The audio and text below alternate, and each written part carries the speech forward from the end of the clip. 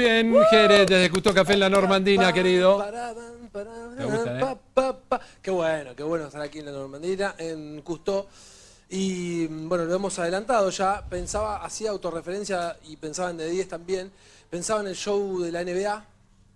Pensaba en cuando era chico que coleccionaba algunas tarjetas. Estoy escuchando un previo. Que eh, coleccionaba las tarjetas de, de básquet de la NBA. Jugaba el NBA Jam. Bueno, y en de 10, cuando comenzamos, nuestro invitado de hoy estuvo, creo que aún vivía en Argentina, y quiero pedir por supuesto un fuerte aplauso para el NBA, Patricio Garino. ¡Bravo! ¡Papá tú! Ah, querido. También la referencia que hice, hablé de muchas cosas que, que recuerdo yo de la NBA, que jamás en mi vida pensé que iba a hablar con un jugador de la NBA, ¿te imaginas? Y yo, me imaginé, yo tampoco me imaginaba, ¿viste? Es- esas referencias que uno pensaba y estar ahí es, es muy loco. Bueno, Pepe, que jugó en Independiente de Tandil algunos partidos, Exacto. tampoco me imagino de haber pensado en entrevistar a otro NBA, ¿no? No, no, no, para nada, para nada. Y estoy alucinado. Le, le dijimos acá cuando estuvo, está viviendo el sueño realmente, ¿no? El sueño de un pibe que veía por televisión a sus ídolos y hoy se encuentra en ese lugar. Debe ser muy difícil caer, a pesar de que vos tenías esa experiencia universitaria, estabas como más cerca. Pero digo, pisar la cancha, estar ahí, debe ser muy difícil caer. ¿Cómo, cómo lo vivís? No, recién le decía a Jere, soy totalmente inconsciente de, lo que estoy viviendo. Uno se ilusiona tanto, tiene ese sueño y ya hace siete años que, me fui con ese pensamiento y todo, pero conscientemente digo, bueno, está, está un poquito lejos todavía, tal vez estaré un pasito más cerca, pero ese camino no, iba a ser fácil. Y hoy en día saber que, que pude tener minutos adentro de una cancha NBA, la verdad que no, no me doy cuenta todavía de, de lo que pasó. Tal, tal vez ahora estoy cayendo un poquito, que estoy en casa hablando constantemente con mi familia, mis amigos, que, que me vuelven locos con las preguntas. La verdad que capaz que me doy un poquito de cuenta, pero no. Es, Claro. es increíble la verdad lo, lo que me pasó. El que lo vive de afuera, que está cerca tuyo, lo vive con más intensidad todavía. Vos tenés que hacer las cosas de cada día. Supongo que la experiencia universitaria sí te acercó a la exigencia de laburo, a la metodología. ¿En eso tenés, sentís que tenés una ventaja, un acercamiento a eso? No, totalmente. La verdad lo que es la vida universitaria parece que es, es casi un regimiento militar, ¿no? Están pensando todo el día en entrenar, en entrenar, en jugar, estudiar y seguir entrenando. Eh, la verdad que eso me ayudó mucho a mí, para colmo soy, soy medio obsesivo, así que eh, me sirvió porque para colmo tenés todos los recursos que te ayudan, está todo el día pendiente de vos y yo creo que eso me, me ayudó mucho para, para llegar ahora. ¿Y en el estudio cómo va?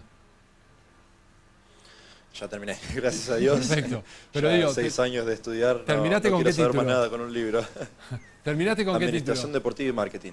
Mirá, bueno, bien, relacionado, está buenísimo. Para, para cuando venga el retiro dentro de muchos años.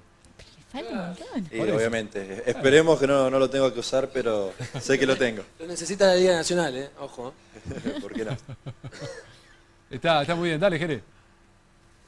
Bueno, no, eh, las preguntas que, que todos tus amigos te hicieron son las que yo te hice recién hace un rato, seguro algunas de esas. Yendo a los detalles, ¿no? Eh, es decir, cómo cambia la vida de una persona que estudió o que, o que- que va a la universidad a jugar a la NBA. Es decir, el cambio de rutina, recién te preguntaba, muy difícil, Pepe, preguntar tantas cosas para, Sí, claro. para saber de vos. Bueno, eso, el cambio del día a día, ¿en qué se notó? ¿En qué lo viste? ¿Qué, qué- qué sentís? Se notó mucho, creo que hasta aprendí mucho de mí mismo en saber que tengo tanto tiempo libre, ahora tanto tiempo en mis manos, que no, no sé qué hacer. Estando en la universidad, uno cursaba a la mañana, iba a entrenar, tenía que hacer tarea y llegabas a las 8 de la noche y ya te querías desmayar. Ahora yo entreno en la mañana, un turno y tenés toda la tarde libre, uno eh, hace distintas cosas, jugué mucho la Play este año, eh, estoy medio, medio nerd. Eh, pero bueno, no, me descubrí un poco a mí mismo, ¿no? cosas que no, no sabía que me gustaban, explorando ciudades nuevas y, por qué no, también pensando un poquito a futuro. Pero, pero bueno, creo que ese cambio de administrar un poco mi tiempo, saber qué hacer para no aburrirme, eh, además de entrenar, ¿no? obviamente, creo que eso fue un cambio bastante grande. ¿Y cuáles son esas...? Dije que. Sí. mm, Sí. Pepe, perdón. No, decía que cuando vino, cuando fue de 10 por primera vez, Pato sí vivía, por supuesto, en Estados Unidos ya, porque dijiste 7 años, nosotros ya llevamos 5 y medio, casi Sí, 6. claro. Y, y estabas viviendo en Estados Unidos, recién venías, recién empezaba toda la, la- la historia. eh, y decía que habitualmente, te decía, los jugadores de básquet que pasaban por de 10, o los que yo tuve que entrevistar en, lo personal, el sueño era jugar en la selección, jugar con Manu, eh, no jugar en la NBA. ¿Me entendés? Era imposible pensar para ellos en jugar en la NBA. De hecho, para tus compañeros en la selección, Facu Campazo, por ejemplo, te decía, el tipo pensaba jugar en la selección. El sueño en NBA es muy lejano para todos, vos lo conseguiste con holgura. Fue igual para mí. eh. Eh, yo te decía, mi sueño es jugar a la NBA, pero yo estaba consciente que primero está la selección, está, había otras cosas en el medio. No, nunca me pensé que iba a llegar tan rápido.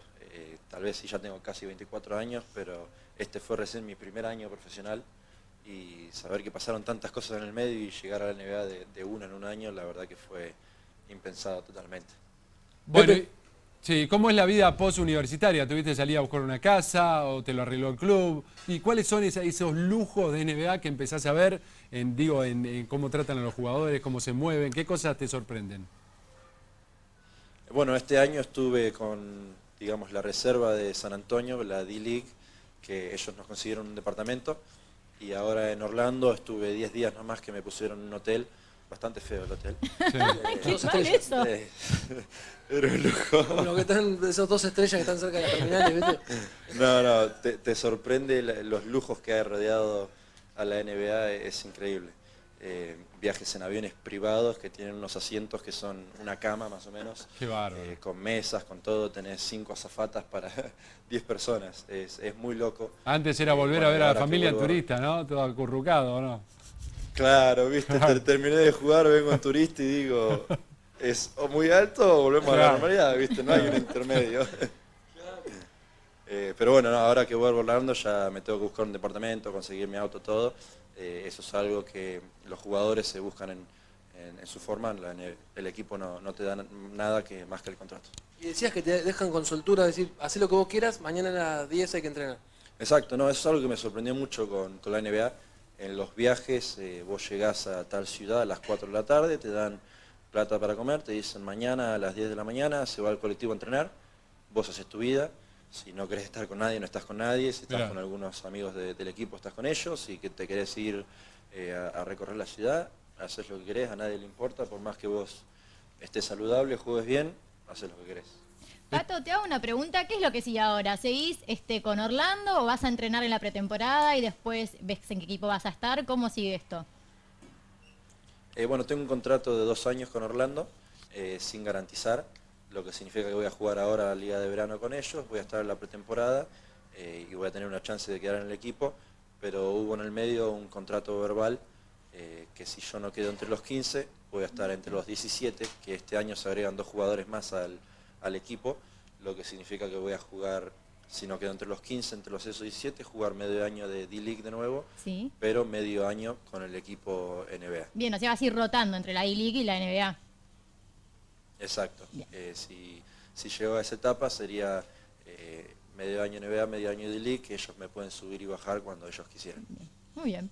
Bueno, está, está buenísimo. Hablabas recién de esta cosa que te dicen, bueno, hacé tu vida, vení mañana a las 10 de la mañana. En eso tenés que tener una fuerte autoconducta, ¿no?